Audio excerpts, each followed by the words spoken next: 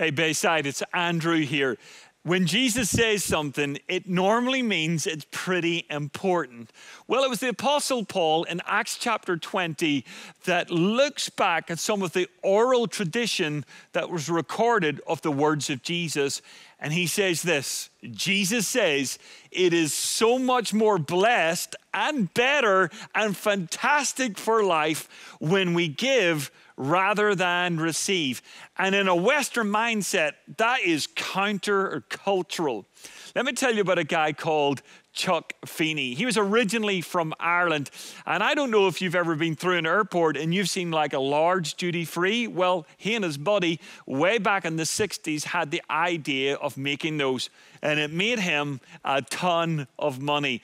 He made over $8 billion, but that wasn't why he wanted to make the money. He wanted to make the money so that he could pass it on.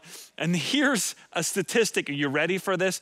That in his lifetime, he has given away 375,000% of his income. He has given away over 8 billion dollars and most of it incognito. Why?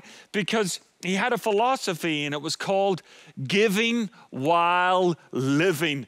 And I want to encourage you that's a guy, I don't even know if he's a Christian, he's an Irishman living in San Francisco.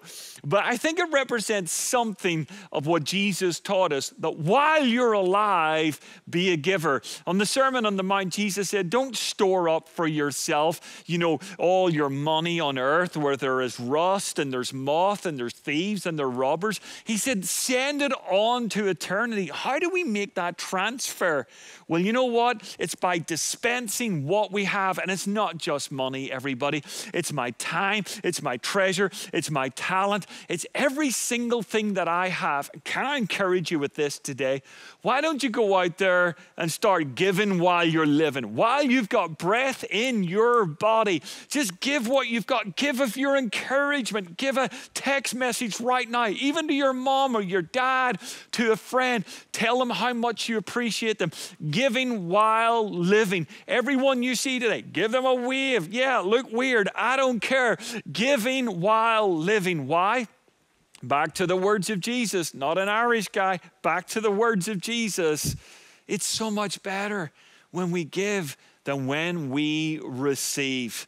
I've just been here on a Thursday night, Bayside Granite Bay, and we've had a live service with over 200 people. Our very first time sort of experiment service.